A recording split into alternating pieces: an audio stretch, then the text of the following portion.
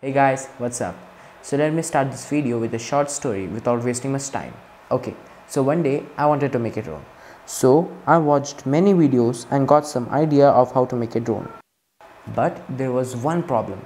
The problem was that the videos were too lengthy and did not match my requirements. My requirements were to make a racing drone with a carbon fiber frame, better battery life, at least 1 kilometer transmitter range and I also wanted my drone to capture good quality video.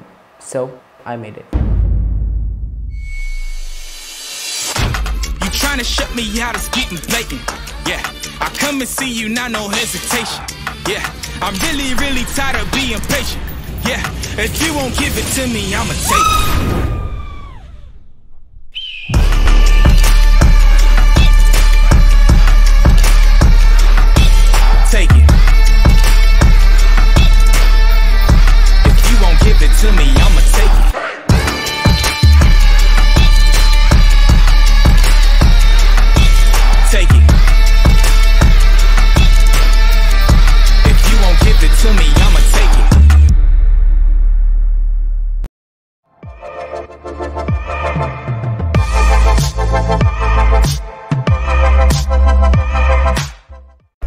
We are going to make it with a carbon fiber frame, a BR2205 2300 kV brushless motor, Racerstar 4-in-1 ESC, a 6-inch propeller, a CC3D flight controller, FlySky transmitter and receiver, and finally 11.1 volt LiPo battery. So this is the list of components you need. You can buy these from the link in the description below. For you to understand this video easily, I have divided this video into 4 parts. First, we will make the frame. Second, we will attach the motors and solder them to ESC. Third, we will wire ESC to the CC3D and to the receiver. Fourth, we will set up our drone. So let's first make the frame.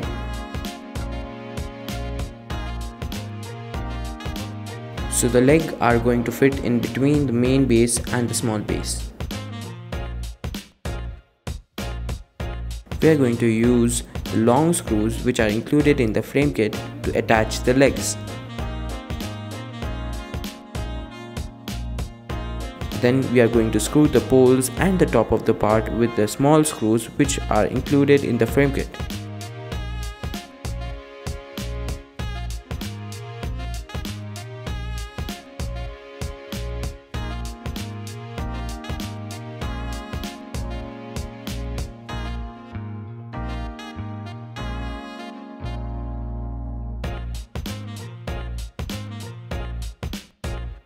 And your frame is done.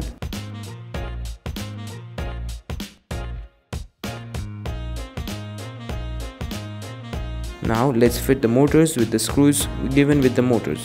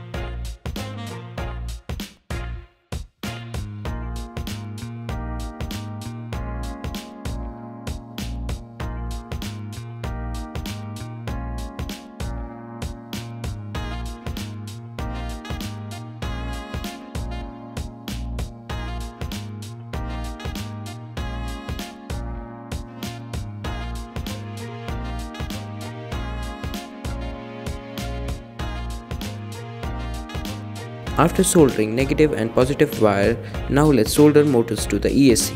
So the first motor is going to be soldered at the M1 pins and the same goes for other three motors.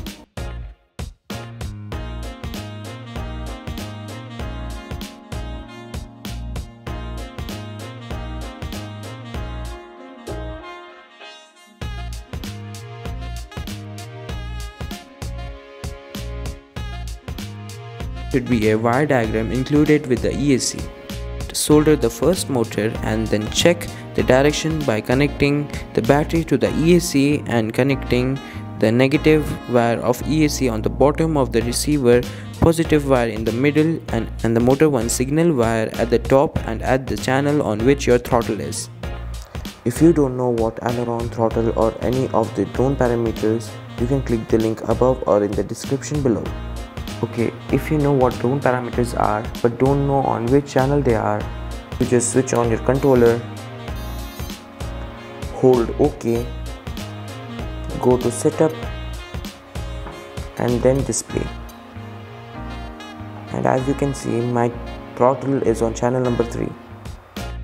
Remember, motor 1 and 2 should spin clockwise, whereas motor 3 and 4 should spin anti-clockwise.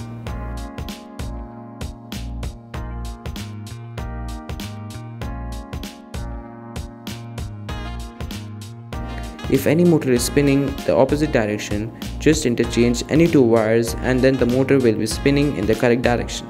After the soldering is done, this is how you should connect the ESC wires to CC3D to the receiver. Now let's set up our drone.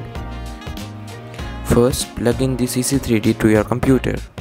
Then open the LibrePilot software. If you don't have the software, you can download this software from the link in the description. Okay, now that you have downloaded the LibrePilot software, open the LibrePilot software, click Vehicle Setup Wizard, click Next. This is the most important part. You have to update the firmware. Make sure you select Erase All Settings and click Upgrade. After that's done, click Next. You will be seeing your board in this section. If you don't, disconnect and connect the CC3D once again to your computer. Click Next select PWM then multi-rotor select quadcopter X and then standard ESC in this section we are calibrating our sensors. So keep your drone on a flat surface and then click calculate. In this section we are calibrating our ESCs select these three boxes and before clicking start make sure your battery is disconnected then press start after pressing start, attach your battery.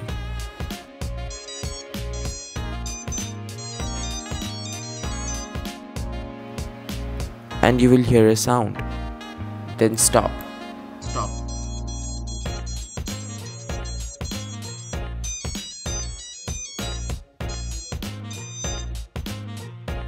Select the last box and click next.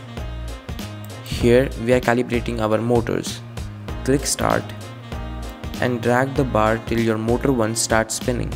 Make sure your motor 1 is spinning in this direction. Then click stop. Do the same for all the other 3 motors. Here select generic quad X, click next and save. After your CC3D is done setting up, then set up your transmitter. Go according to the instructions given. Then go to the arming settings and select left yaw. Click save and your drone is done setting up. Hey guys, thanks for watching. Please like the video, share and subscribe. If you want to see more videos like this, please click the notification bell down there so you will get notified whenever I post a new video. So that's all for today. Bye.